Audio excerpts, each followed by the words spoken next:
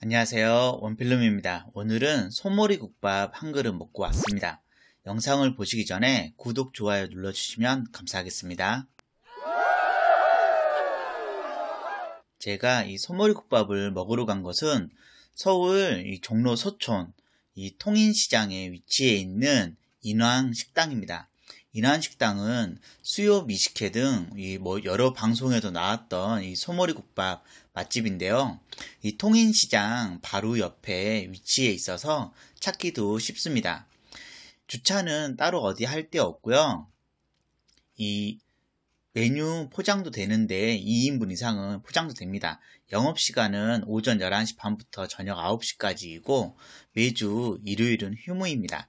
내부는 그렇지, 그렇게 넓지 않고 좁은 편이고요. 메뉴도 그렇게 다양하지 않습니다. 하여튼 이곳은 이 소머리 국밥이 제일 유명한 곳이고 또 제육볶음도 의외로 많이들 먹는 것 같습니다. 하여튼 원산지 표시도 잘 되어 있고 이 세계 챔피언 권투 선수 분 사진이랑 사인도 이렇게 있네요. 그리고 테이블에 있을 거 다 있고요. 자리에 앉으면 물도 바로 가져다 주시더라고요. 저는 이 소머리 국밥이랑 닭곰탕을 주문하였습니다. 기본 반찬이 먼저 바로 세팅이 됩니다. 부추무침은 이 국밥에 넣어서 나중에 같이 드시면 되고요. 그리고 특히 이 오징어 젓갈, 이집 어, 오징어 젓갈 맛있더라고요. 그리고 이 배추김치도 어, 맛이 좋았고, 이 같이 나오는 깍두기도 어, 맛이 꽤 좋았습니다. 갓 담근 그런 맛이더라고요. 그리고 저희 먼저 제가 선택한 소머리 국밥부터 보겠습니다. 소머리 국밥 위난식당은 이 소머리 국밥으로 좀 잘 알려진 곳인데요. 육수부터 맛을 봤는데 상당히 어, 정직하게 끓여낸 그런 사골 육수라는 생각이 들었습니다. 뭐 다른 뭐 조미료나 그런 건 들어가지 않고 국물이 엄청 진한 편은 아니지만 그래도 이 정도면 꽤 괜찮다는 생각이 들었고요. 이 후추 약간 뿌려주고 소금으로 간을 맞춰준 다음에 드시면 됩니다. 소금도 이 굵은 소금을 사용하는 곳이더라고요. 이 소머리국밥에 보니까 고기는 어 생각보다 좀 많이 들어가 있는 편이고 어 소금으로 간을 맞춰주고 간을 보니까 어 더 맛있게 느껴지더라고요. 소머리국밥답게 이 소머리 쪽 고기 제대로 들어가 있고 이 먹기 전에 부추도 적당히 넣어서 잘 섞어주고 그리고 여기에 이제 그 밥을 몽땅 뭐 말아서 먹거나 그냥 드셔도 되는데요. 저는 그냥 공깃밥을 몽땅 말아서 어, 열심히 먹어줬습니다. 국밥은 이렇게 그냥 밥 말아서 먹는 게 제일 맛있더라고요.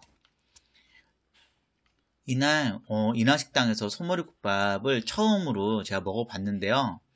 어, 뭐 엄청 진하게 맛있다 이 정도는 아니었지만 되게 아 이종 이런 국밥이면은 되게 정직하게 어, 먹는 사람들을 속이지 않고 그냥 판매를 하는 곳이구나 라는 생각이 들었습니다.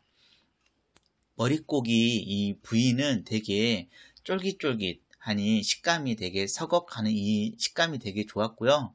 고기 쪽도 나름 엄청 많이 부드러운 건 아니었지만 어, 되게 맛있게 좀 먹을 수 있었고 좀 먹다 보면은 어느 순간 좀 소주 한 잔 생각나는 그런 곳이기도 했습니다. 이 오징어 젓갈이랑 국밥이랑 같이 먹는 것도 되게 맛있고 좋았습니다. 저는 이렇게 손머리 국밥을 주문해서 먹었고 또 다른 친구는 닭곰탕을 주문하였습니다. 닭곰탕도 소머리 국밥이랑 거의 같은 육수에 거의 나오는 것 같은데요. 상당히 처음에는 팔팔 끓여서 나오기 때문에 너무 뜨거워서 좀 식혀서 먹어야 했습니다. 이 닭곰탕도 소머리 국밥과 똑같이 뭐 부추 넣고 후추 약간 넣고 소금으로 간을 맞춰준 다음에 드시면 되는데요. 닭곰탕에도 닭고기가 어, 꽤 넉넉하게 들어가 있었습니다. 닭곰탕 먹는 친구도 닭곰탕 무난하게 맛있다면서 잘 먹더라고요. 어, 이날 이제 사무실 근처에 있어서 처음으로 방문해 본 이날 식당이었는데요. 어, 생각만큼 되게 좀 정직하고 깔끔한 맛의 소머리 국밥이었다는 생각이 들었습니다.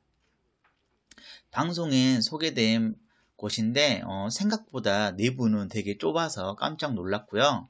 하여튼 그 사장님 되게 친절해서 좋았고 어, 아무것 되게 좀 순수한 맛이 느껴지는 그런 소머리 국밥 한 그릇 되게 기분 좋게 먹을 수 있었습니다. 그럼 이상으로 인왕식당 리뷰를 마치도록 하겠습니다.